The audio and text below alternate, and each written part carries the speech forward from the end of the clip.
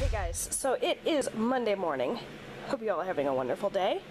I have already eaten one sort of mini meal this morning and I didn't show it to you because it was my banana this morning that I ate to take my medication and a cup of coffee. So the banana was zero points, of course. My coffee was three tablespoons of the Coffee Mate sugar-free sweet Italian cream or Italian sweet cream. I always get those two mixed up, whatever. You guys know what I'm talking about, and it is one point. So in addition to that, I'm having a real breakfast now before I hit the gym and the grocery store. So I have a multigrain English muffin from Aldi for three points. On there, I've spread one of the spreadable cheese wedges, also from Aldi, for an additional point, so that brings us up to four. I've got some rotisserie style deli chicken here for one more point, so that's five, and some honeydew melon here uh, for zero points. So all told, between this and what I ate earlier, we're looking at six points for breakfast. Yeah, that's what we'll go with, six points. Alright, you guys, so here is my very uncreative lunch. I have a zero point apple. I have a three point serving of the Aldi brand Triscuits. I have a string cheese here, which a wonderful, lovely, perfect um, viewer of mine told me is actually only one smart point, not two. So thank you, thank you, thank you. You know who you are.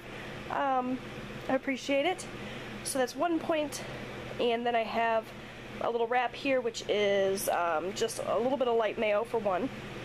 Um, some of the deli seasoned rotisserie chicken, same stuff I've been eating all week, for one. And then I have a slice of um, Fit cheese for two. So my wrap is, oh, and the wrap itself is a Flatout light wrap for two. So two, three, four, five, six, seven, eight, nine, ten points for lunch because my apple is zero points. I'm starving. Grocery shopping takes a lot out of you, man. Alright. Alright guys, Monday again, and that means it's rotisserie chicken for dinner.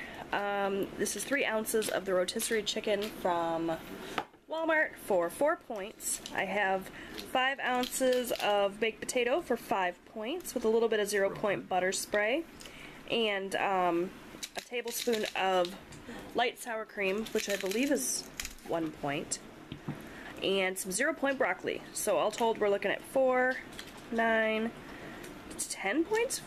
Ten points for dinner. And if any of those calculations are wrong, I'll let you guys know down below. But, yum. That's dinner. Alright guys, well I am ending the evening with a two-point snack. I have um, a cup of cottage cheese here with some fresh strawberries cut up in there. So that's going to do it for today. I've got weigh-in tomorrow, so wish me luck, and I will see you then.